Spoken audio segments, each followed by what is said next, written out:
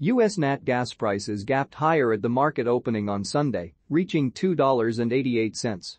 As mentioned in the last forecast, there is a possibility of a price surge on Monday, with a potential opening gap at $2.90. According to the National Weather Service's latest 8 to 14 day outlook, temperatures across the Midwest Texas, the Gulf Coast, the West Coast, and the Northeast are likely to trend above average from June 29 to July 5, potentially fueling stronger demand for gas-fired power burn. Prices continue to rise despite U.S. LNG feed gas demand remaining curtailed, with ongoing maintenance at U.S. export facilities, averaging nearly 11 BCF per day in the week ended June 16, compared with about 13 billion in May. Spring maintenance at U.S. LNG terminals tends to be clustered around May and June. Planned maintenance remains underway at the biggest U.S. LNG export terminal Cheniere's Sabine Pass as part of a six-year maintenance cycle at the facility.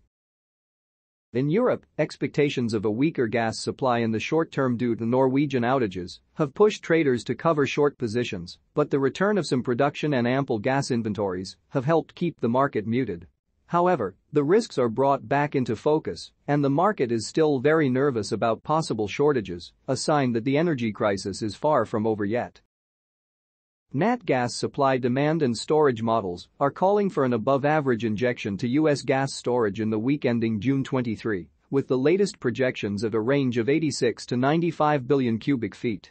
The predicted injection range compares with an average build of 81 BCF reported in the corresponding week over the past five years. That could invite potential drops to the $2.70 level, with the 10-day moving average underneath offering a certain amount of support.